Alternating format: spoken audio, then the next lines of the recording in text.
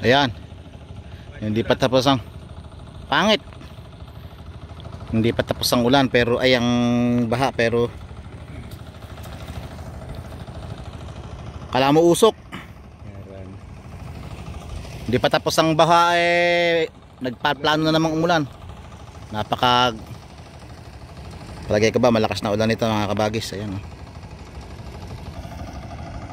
Maitim na maitim. Sa personal sobrang yan eh. Mawausok na. Sa personal, maitim na maitim na yan. Gandang lalaki. Kapundo na naman ang ulan.